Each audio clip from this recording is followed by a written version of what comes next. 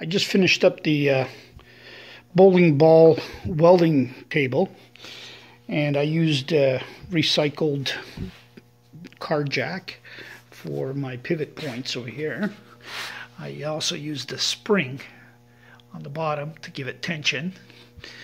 I welded a handle screwdriver. I uh, threaded the ball with a one inch threaded rod and nut. Welded the bottom also welded a screw so I can clamp my uh, ground and used the uh, little dog bones for a pivot. And those were all recycled parts off the car jack.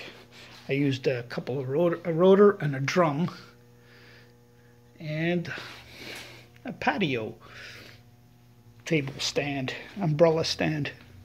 And it works great.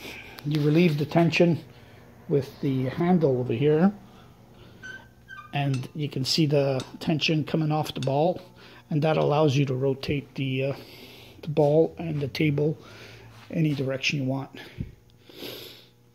Uh, eventually I can put a vise on the top of it as well and that's it.